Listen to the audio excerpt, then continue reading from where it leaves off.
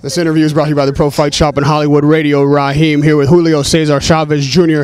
Julio, I already know that you believe you won the fight, but when that decision was read, you heard the crowd boo for the first time. They'd never booed you before. Talk to me about that moment and, and how that felt. No, I don't feel nothing about that, you know, because I know that I'm win the fight. I connect the the the, the best punches, the power punches. You know, the people expect the knockout. I know that, you know. I broke my, my hand. Duncan uh, no pude regalarle a la gente el knockout. I couldn't I couldn't give the people the knockout unfortunately. But I feel good, you know. I'm winning the fight, and I, I, I have my, my fight.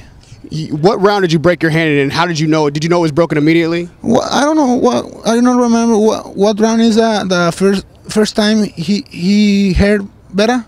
You, you remember?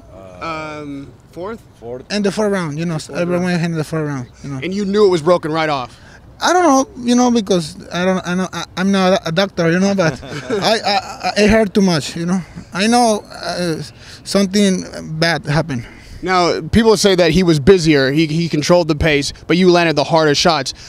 When you knew that you had the injury to your hand, what where did you go in your mind? What was your strategy then?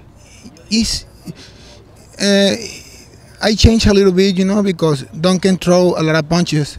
I think it's because that I have more activity, but you know, you change the the way, you know. You see, uh, I I I heard better.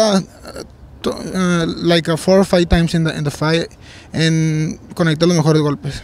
Now, with the change in trainers and losing the conditioning coach, no Freddie Roach, no Ariza, do you think that that affected your ability to make weight at all? No, para nada. No, I, I don't think affect me that.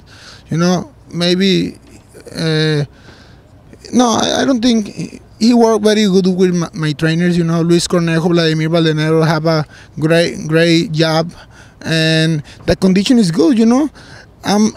Uh, I'm here better in the 10th round. This guy is tired, more tired than me, and I have one year off.